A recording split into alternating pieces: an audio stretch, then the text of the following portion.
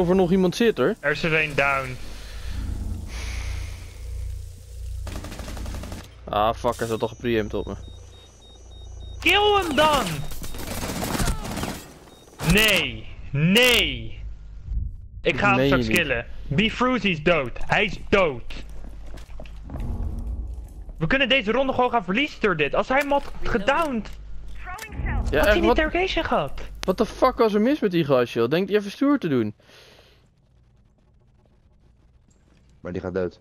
Ik hoop nu echt Ja, voor hem dat hij nog dood. gaat, weet je.